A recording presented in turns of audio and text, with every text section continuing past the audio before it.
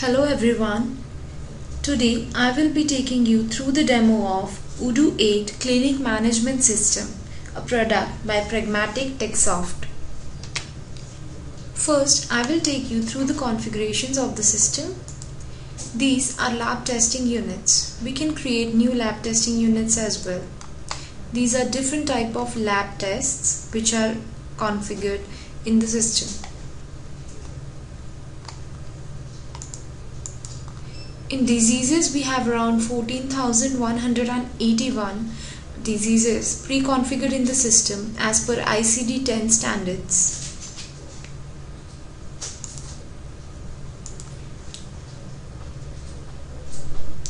In physicians, we have physician record wherein we maintain details like the address, phone number, telephone number, fax, email, etc. of the physician we have details like the specialty, the institution and the ID of the physician.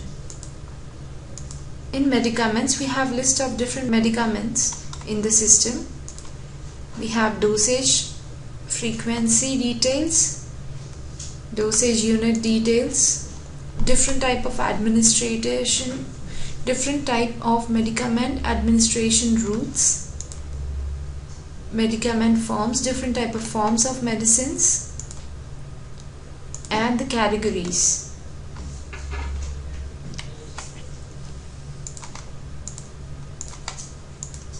Next, under genetics, we have a list of around 4,298 different kind of genetic risks along with details like what is the official long form of the genetic disorder, which is the affected chromosome, etc. In miscellaneous, we have details like different kind of medical specialities. We have around 653 different occupations listed in the database, different ethnic groups, and the details of recreational drugs. In this, we also maintain details like what is the category of the recreational drug, what is the dependency, and their street names. Next, let's move towards the patient record. We maintain a detailed information of the patient like name, address detail, then the gender, birth date, general information like what is the ethnic group, what is the address, uh, the disease history of the patient, medication that the patient is taking, appointments history of the patient, genetic risk details if any, we also maintain lifestyle details like how many hours the patient sleeps every day, how, uh, how much physical exercise the patient does every day, diet information, addiction information, sexuality information and safety information. At the end we have lab tests wherein we maintain the details of the lab test history of the patient. Next, let's move towards the appointments form. This is a sample appointment form wherein we enter the start date, the end date of the appointment, the patient who wants to see the appointment, what is the name of the physician who will be attending the patient.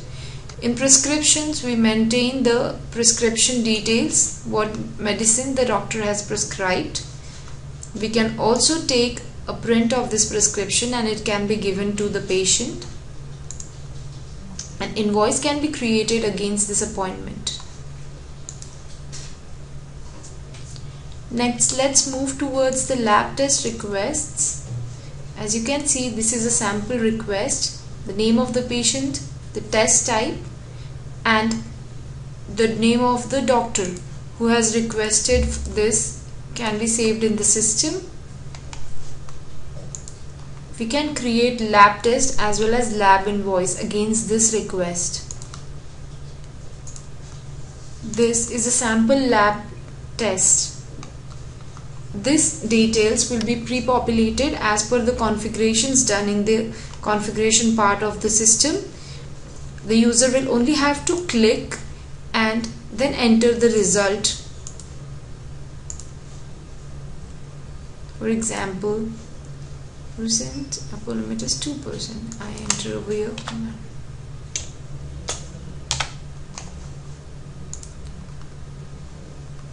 and save. Print can also be taken of this lab report.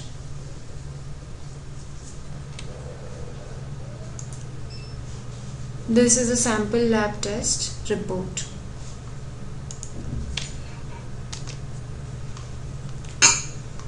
Family records can also be created wherein all the members of same family are listed under one family record. This helps to track the diseases or some genetic disorder, possible genetic disorder using the family's past history. Next we have is invoices. Invoices can be created for lab requests, for the appointments and for the prescriptions.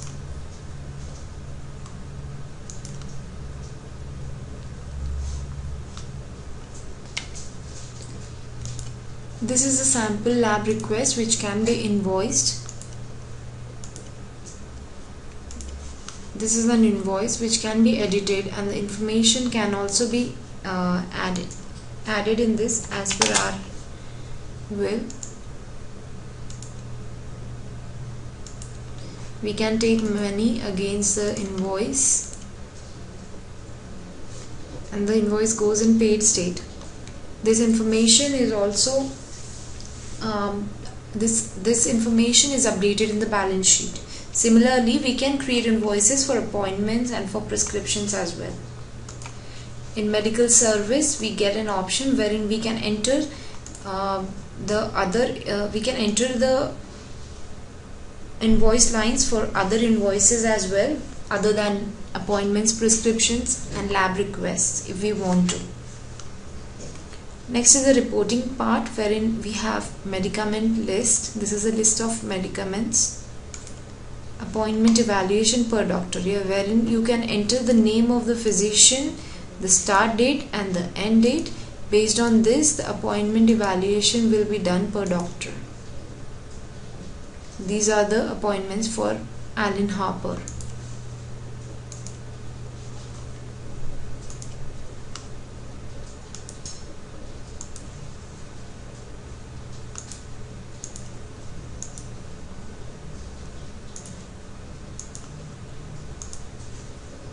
Next we have appointment evaluation per prescription. These are the appointment evaluations per prescription. This is for appointment search. We can search appointments based on the specialty. We also have other options like creating blogs. This is a sample blog that has been created. We can enter more information over here. We have website as well wherein we can publish various details Thus blogs can be written, reporting can be done on the website. This website is linked with clinic so you can add details related to clinic. Thus along with clinic website is also provided which will be helpful for the users to connect with the patients. That's all about Odoo 8 clinic management system by Pragmatic TechSoft. Thank you everyone. Have a good day.